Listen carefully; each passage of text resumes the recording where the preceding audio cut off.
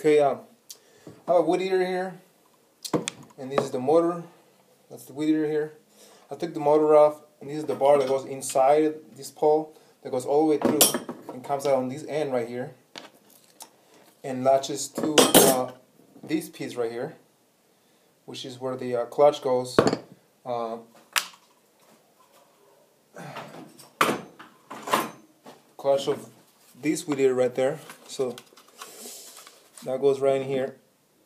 And that's when it spins the bar spins and the wheeler spins in the, in the end.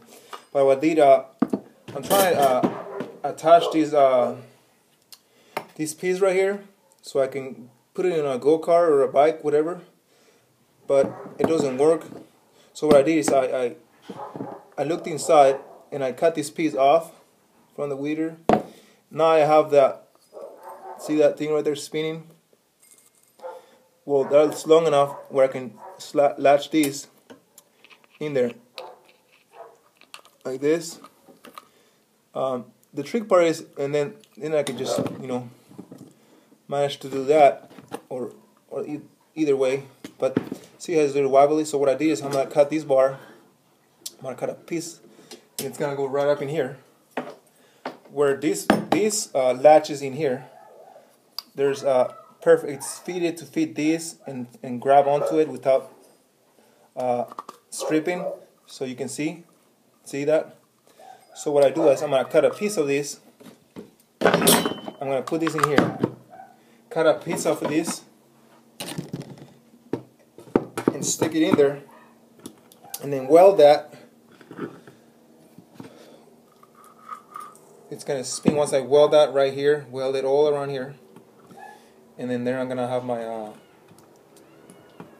my sprocket working with the, uh, the clutch.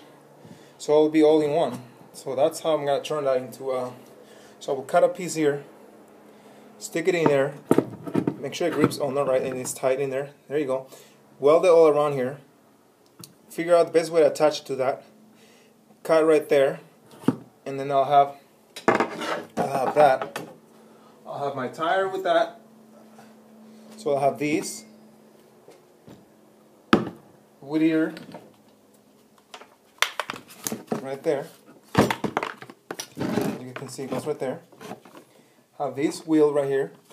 This one only, only it only it, it's the solid wheel, and I have that there. And I have these right here, and then there you go. So I'll go with this. Then I have two uh, two of them now that I can put the chain on there. And uh, we're going to see what happens. I'll show you guys in the next video.